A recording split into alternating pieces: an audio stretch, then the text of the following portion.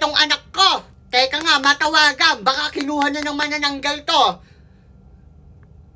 Bakit ba kasi ako yung hinahabol mo? Eh, Hindi naman ako buntis. Adik lang ako sa computer shop.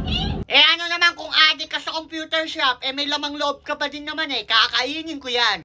Ay nako, Aling Ana, wag mo na tawagan yung anak mo. Kinuha na ng manananggal yun. Ano ba naman tong anak ko? Ayaw sumagot. Wala na yung anak mo.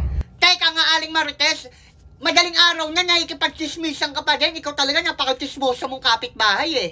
Aba, pasmado yung bunganga mo, Aling Ana. Ikaw nga yung chismosa din eh. Akala ko hindi totoo yung mama na nanggal. Totoo pala. Hoy, wag mo kong iwan, Diyos ko. Ah, Iniwan ka ng mga barangay tanod, no? Hoy, ikaw dapat yung hinuhuli ng curfew eh. Bakit 3 a.m. kasi palipad-lipad ka pa dyan? Ano ako? Oh, Bob, ikaw dapat yung hinuhuli ng curfew. 3 a.m. na kasi, bakit ka pa naglalakad dyan? Computer pa more. Tsaka paano ako huhulihin ng curfew eh? Lumilipad ako. Ayaw talaga sumagot na itong anak ko ha. Teka nga, isa pang tawag. Huwag ka nang tumakbo! Kakainin na kita! Nagmamakawa na ako, huwag mo na akong kainin! Ah, wait lang. Wait lang, manananggal, may tumatawag. Ayan na, tinatawagan ka ng nanay mo. Ayan kasi, tumatakas ka pa ng 3 a.m. para lang mag-computer. Ngayon, kakainin na kita. Lintik ka talagang bata ka. Ano, hinahabol ka na siguro ng manananggal, no? Oo, ma, hinahabol na ako ng manananggal ngayon. Totoo pala. Lagot ka ngayon sa nanay mo. ma. Napakakulit mo kasi. Hoy, hindi ako snatcher. Kakainin ko yung laman loob mo. Ay, kasi napakakulit mong bata ka. Mare, ano, hinahabol na ng manananggal yung anak mo. Oo, Mare. Deserve. Hoy, Aling Marites, napakasama naman ang ugali mo. Manananggal ata yung anak mo eh, si Maria. Nasaan ba yung si Maria? Anong manananggal yung anak ko? Teka, tatawagin ang anak ko ah. Hoy, Maria, lumabas ka nga dito. Manananggal ka daw eh. Pinagbibintangan ka ng kapitbahay natin. O sige ma, ito na. Hoy, Aling Ana, grabe ka naman magsalita. Hindi ako manananggal. Natutulog ako. Yung ingay-ingay nyo. Nagising tuloy ako. Ay, pasensya ka na Maria. Napakatismosa kasi ng nanay mo eh. Hinahabol na kasi ng manananggal yung anak ko, si Jose. Ano? Hinahabol si Jose ng manananggal? Ano ba yan? Sana okay lang siya. Ha! Kukunin na kita. Ma, kinukuha na ako ng manananggal. Napapagod na akong tumakbo. Tulong.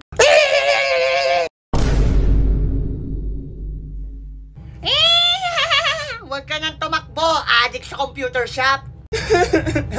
Napapagod na ako manananggal. Teka, time first. Hinihingal na ako eh. Anong time first? Ano to? Taya-tayaan? Kakainin yung lamang loob mo. Eh, napapagod na ako eh. Kanina pa ako takbo ng takbo eh. Maglaro na lang tayo ng tago-taguan. Ayaw mo? Anong tago-taguan? Ano ako, bata? Hoy, manananggal ako. Ang tagal naman umuwi ng anak ko. Nag-aalala na ako. Baka kinain na ng manananggal yon. Aling Ana, huwag kang mag-alala, hindi kakainin ng anak mo, buntis yung kinakain nun, hindi ang mga adik sa computer shop. Ay nako, Aling Marites, sana talaga, Diyos ko, nag-aalala na talaga ako ng maigi. Dali na, maglaro tayo ng tago-taguan.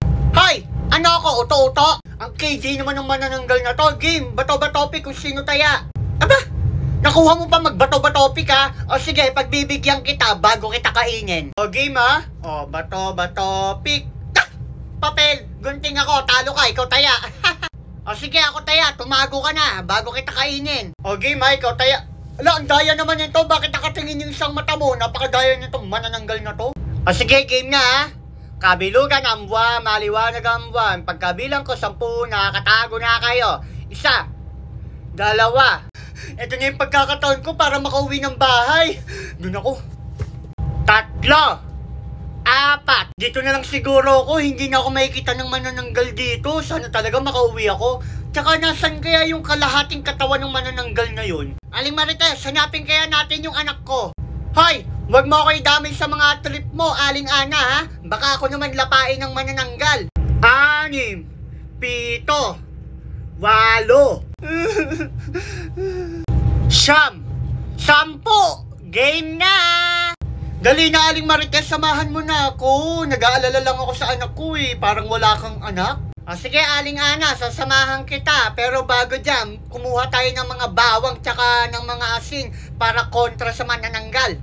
Lah, ang galing naman magtago ng adik sa computer shop. Ha, huwag ka na magtago dyan. Kakainin ko na yung isaw mo. So hi guys, so this is the 4, 3, and 4. Tama ba? Ito kakatapos ko lang gumawa ng video and grabe, sobrang pagod ako ngayon. Kasi nakadalawang video ako. And syempre may duty pa ako bukas. So kailangan kong gawin ngayon kasi pre-day namin ngayon. So thank you for watching and don't forget to subscribe on my YouTube channel, Jose Maridesos at huwag niyo na din kalimutan i-hit ang notification bell para maging updated ka sa lahat ng video upload ko. Ipindutin mo na rin yung like and comment para bongga!